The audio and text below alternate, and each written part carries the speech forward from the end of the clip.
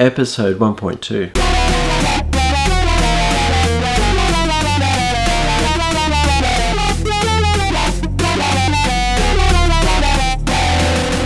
The question we have today is Would mercury metal be better than water for liquid cooling a computer CPU? And this is from someone called Skillet. Okay, that's not a good idea. I mean, firstly, mercury is highly toxic. Um, sorry about the toxic logo looking like a, a member of the band TISM here. The second thing is, is that mercury is highly conductive, so if there's any spillage of mercury within the computer, um, there's the risk of a um, electrical hazard. I mean, to an extent, that's the same with water.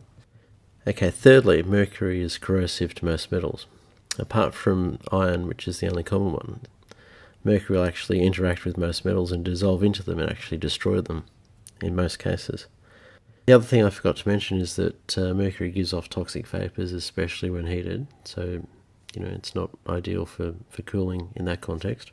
Finally, it's heavy to pump. It's actually 13.5 times the density of water, so you're going to end up with an unhappy pump because they simply won't be designed to, to pump mercury.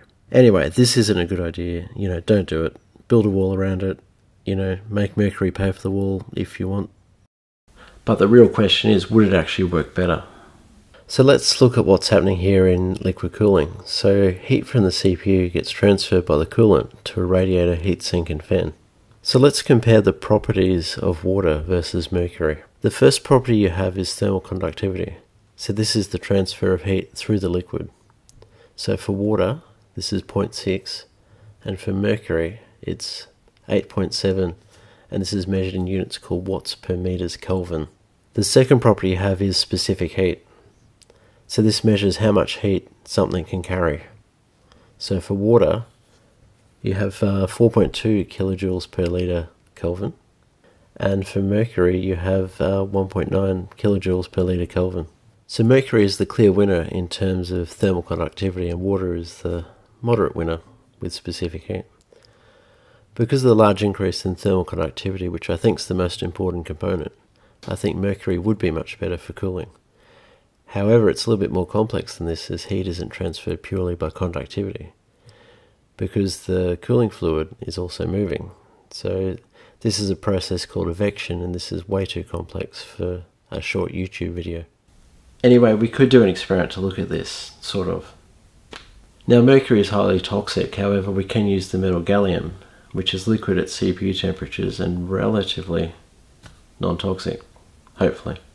So just comparing the properties of mercury versus gallium. So in terms of uh, thermal conductivity and specific heat, gallium is actually better than mercury. So therefore, as a coolant, uh, gallium is probably a much better choice. So to test if gallium is better than water at cooling, what we're going to do is we're going to take a pretty standard CPU and we're going to test three cooling methods. We're going to test the factory fan, liquid cooling with water, and liquid cooling with gallium. And what we're going to do is we're going to test we're going to run the CPU at 100% for 10 minutes and then measure the temperature afterwards. In the first test, we're using the standard factory heatsink and fan combination, and after 10 minutes, that got to a temperature of 79 degrees Celsius. In the second test, we're using liquid cooling with water as the coolant. Uh, you can see in the video how it's set up. So basically, water is being pumped over the CPU from a reservoir, which is sitting in a larger water bath. Anyway, after 10 minutes at 100%, the CPU is sitting at uh, 73 degrees Celsius. Finally, we have liquid cooling with gallium replacing the water. The gallium was heated to around 40 degrees to become fully liquid, and then it was placed in the reservoir where the water was. Uh, this was still within the larger water bath. The voltage of the pump was also adjusted to maintain the same flow rate as the water, so it's consistent. So after 10 minutes at 100% CPU usage, the uh, temperature of the CPU was 69 degrees Celsius. So gallium is definitely a better coolant than water, and I highly suspect that mercury would produce similar results. However, I don't have the uh, balls to actually test mercury.